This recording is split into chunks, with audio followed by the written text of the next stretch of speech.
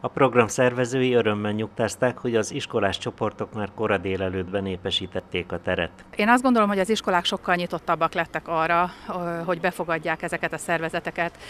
Van egy szakmai szóval mondva esélyóra nevű érzékenyítő program. Ez egy, ez egy indító rendezvény, ahol mélyebben nem lehet a gyerekeket megérinteni, tényleg csak a nagyon a, a, az alapszintre elgondolkodtatni őket, hogy más fogyatékossággal élő emberek is boldogan tudnak élni a, a mindennapokban. Az iskolákba beengedve őket egy-két órában sokkal mélyebben tudnak ezzel a problémával szembesülni, foglalkozni, és talán egy picit, ha megérintjük őket, akkor ők is empatikusabban tudnak majd felnőtt korukban is a fogyatékossággal élő emberek iránt érezni, illetve viselkedni velük szemben. Az esélyegyelőségi napon ott volt Bereznai Csaba alpolgármester is. Itt most pont azt lehet kipróbálni, hogy én, aki látok, vagy hallok, vagy a lábammal tudok járni, mennyire fogyatékos vagyok egy kerekesszékben, vagy olyankor, amikor egy kendőt tesznek a, a szemem elé, hogy mennyire esetlen béna fogyatékos vagyok.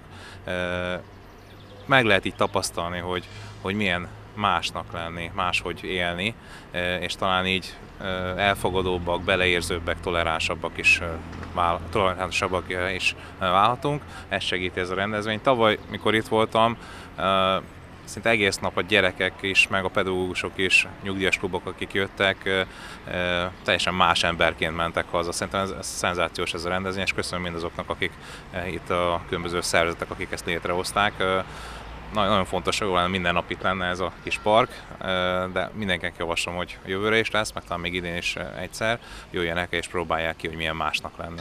A mozgáskorlátozottak is kiterepültek a programra, a gyerekek kipróbálhatták az általuk használt eszközöket.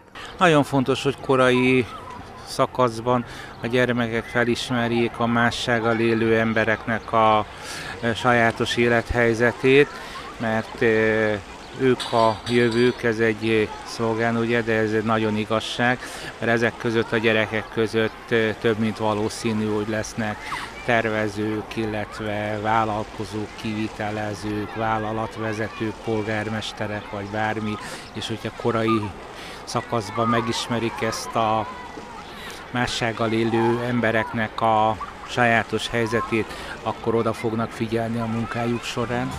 Délután kerekes székes táncbemutató színesítette a programot.